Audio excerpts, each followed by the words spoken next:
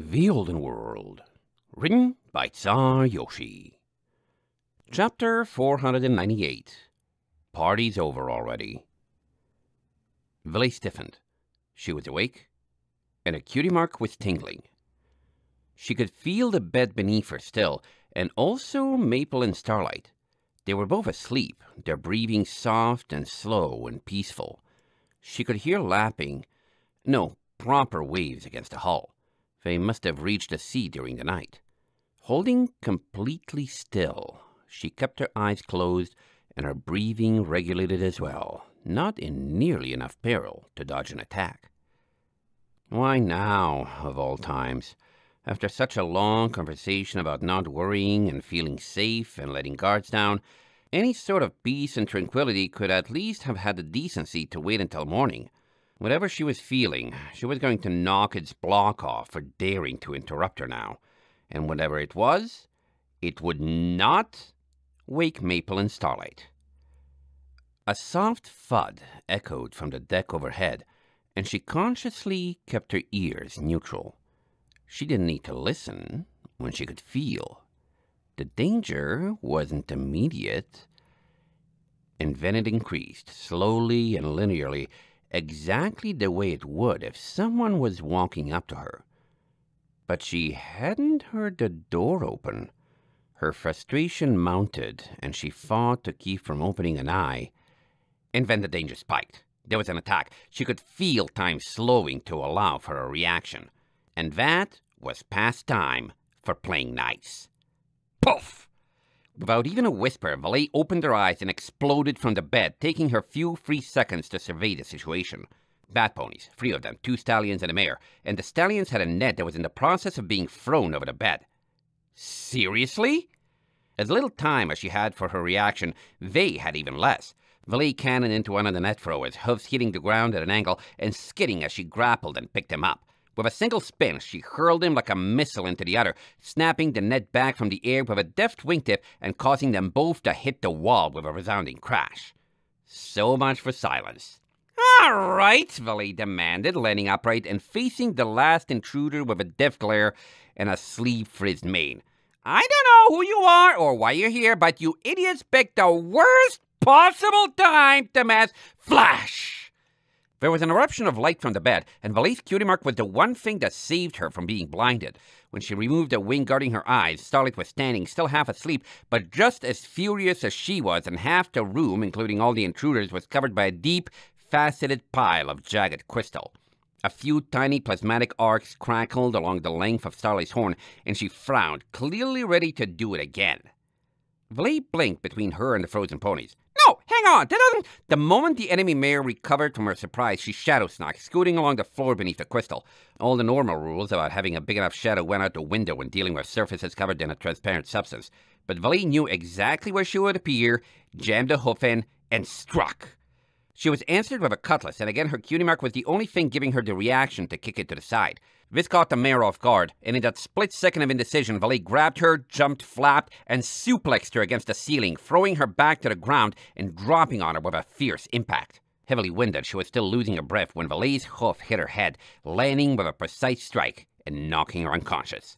No crystal, Valet instructed as Starlight struggled to wake up, and Maple joined her, rubbing her eyes and looking around the room in uncertainty and building fear. Too easy to shadow sneak through. Now drop it and save your energy so I can go get those two. It took a second, but Starlight did as she was instructed, and Valet pounced, knocking the still recovering stallions together. We need a light, she announced. I don't know why these losers are here, and I'm beyond ticked about it, but it doesn't matter how easy they are to bust up if there's no way to restrain them. Ironfly, does this room have a light switch? Maple worked her jaw, still blinking and folding her ears. It, it does, but unless Gerardo turned the power back on, uh, he was keeping it off to save energy. Uh, she pointed at a spot on the wall. Snazzy! Valet jumped over and hit the switch. Nothing happened. Not snazzy. All right, Van, Guess I gotta get to the engine room or control room or whatever, and depending on why these dweebs are here, I'd say there'll be more of them here soon, too. How are you guys going to stay safe? Maple and Starlight looked at each other, both shaken. Valet sighed. She had to take charge. Okay, Starlight, Crystal a crock beneath the door, and all of these free by it, and then sit there with your horn glowing bright enough not to leave any shadows to swim through, okay? You guys are staying safe in here. I'll go out through the window. I should be able to fit. If any more try to break in, uh, bananas. What's a good weapon for fighting bat ponies? Her eyes lit up in realization. Yo, is my stuff in here? My saddlebags from Stormhuff? Maple swallowed and pointed to a small cabinet. In there, along with your bags you were wearing when you got back. Uh, Valet instantly got to rooting through and in a few seconds found what she was looking for the flash glove gifted to her by Kira's mercenaries in Ironridge. She broke into a smirk. Bingo! Valet? Maple looked over at her, hanging Starlight to her chest, even as the filly crystalled the door and did as instructed. Here, use this. Valet pressed a club into Maple's hoofs. It hits stuff and lights up. Great for flushing them out. And if you have any questions about why this is happening, the answer is that the world is a jerk, but still no match for me. Don't worry about this. I've got us covered. Maple grabbed her shoulder with a look of fearful understanding. Be safe, okay? I will. Now, Valet blinked. Oh, hold on. Just thought of something really nasty. One sec. She flitted back to the cabinet. Was this Maple's normal room? Her and Starlight's saddlebags were there too. Quickly, she dumped out all of her other stuff, getting the soundstone and mana battery in her hat, and most importantly, the nightmare module. That wasn't something she could risk anyone finding, especially if these invaders, as bat ponies, were capable of using it. 99% odds we're getting pirated, Villy guessed, packing it back into Starly's bags and presenting them to the filly. Steal stuff. Don't want any of this getting stolen, so hang on to it however you need to, but maybe don't use your cutie mark for it, Iron Flanks. Uh, Villy nodded at Maple's mark. Some not so special stuff in here I think I told you about last night. Starlight, you can fend for yourself. Keep this safe? Starlight nodded and took the bags when Valet held them out. Awesome. Valet stepped away, getting up and looking to the window. Now, time to go see just how big of a mess we're dealing with and kick a whole lot of tail. Valet flipped through the window and clung to the Dream's outer hull, taking stock of her surroundings and danger level. She didn't see any boats to their starboard, but there was only one side of the ship and bat ponies could fly. Oh, stupid pirates. There were more on the deck just above. She could tell just as much from the soft eeing of conversation as the lingering tingle in her flank. It sounded like they were speaking another language. A scan of disguise, but at least two scouts, though none saw her yet. Jerks. She probably had a dark coat to thank for that. Silently, she crept up the wall until she could see through the railing. At least eight bat ponies were loitering on the deck, mostly stallions, but with a few mares. They didn't seem particularly concerned about resistance, and the door to the bridge was open, with more movement coming from inside. Uh, she frowned. Of course Gerardo would get jumped first. How bad was it? Four more pirates strolled out, two carrying a netted Serena with some sort of clamp over her horn and a look on her face that was almost more cross than panic. Slipstream came next. Uh, Valet frowned harder. She'd saved him, of course, but where was Nyala? Taking wing, she soared around to the prow, hiding just below the windshield. There was the boat they had ridden in on.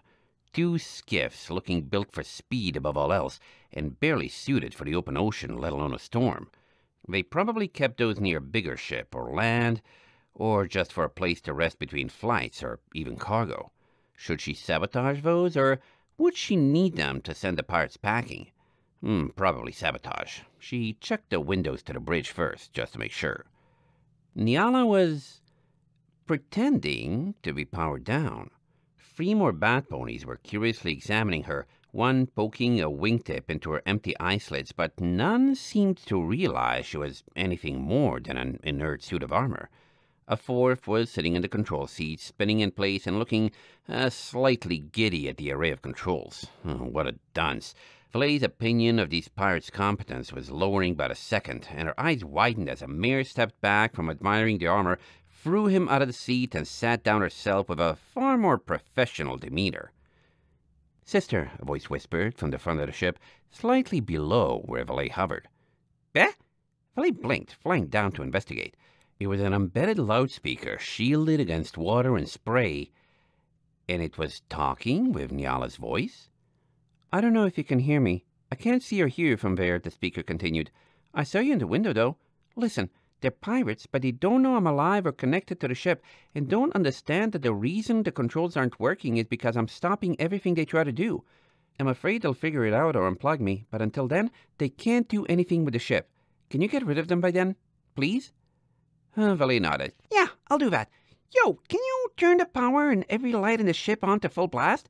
It'll hurt these guys a lot more than me and will help keep our friends safe. No response. Valet growled, remembering that Nyala had just said she couldn't hear her. The ship must not have had microphones on the outside. Oh well, she needed to get to the bridge and clear everything out there, or another part of the ship that did have working sound. Whatever half power state it was in was clearly enough for audio, but not light. Ah, frustrating. She shook her head. She had a bridge to. A bound bundle was flown down to one of the waiting skiffs, and her eyes widened. Nope, she couldn't wait. It was time to deal with those first, immediately. End of chapter 498.